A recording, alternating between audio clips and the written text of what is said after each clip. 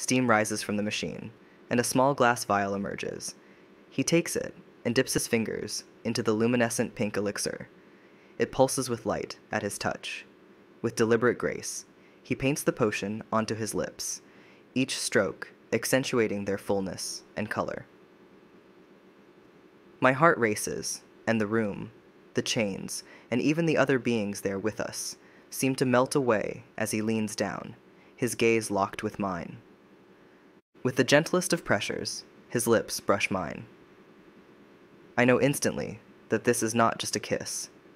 It is an invocation, a bridge between past and present, a restoration of truth and beauty and honor. As our lips part, his voice, soft and haunting, whispers into my ear Remember, my love.